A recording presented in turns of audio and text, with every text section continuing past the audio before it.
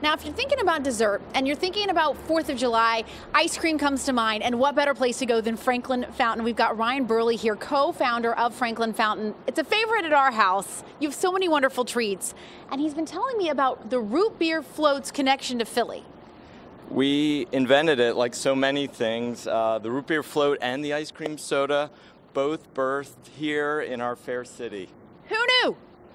Well, we've been making root beer floats for a long time, and it's one of my favorite things. And I'm I'm here to make you one and uh, tempt all of those uh, viewers. Yeah, and you guys make your own root beer, Indeed. and obviously they make the ice cream as well. And really, it, you got to get in there, as you were saying, you got to get the ice cream in there to Oh. make it all come together. Yeah, you want that fizzy uh, thing, Mhm. and then when you uh, you take the ice cream, you let it melt out a little bit, so Mm-hmm. it's you get better flavor when it's melted, and just plop it right in there. Yep. Don't be uh, afraid to You can't be bashful with that. agitate it uh, with your straw. So go ahead, Jess. See, oh, Oh, yeah. Oh yeah. Oh, we're gonna overflow. Up, you better sip.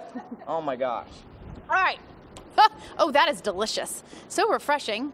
Wow.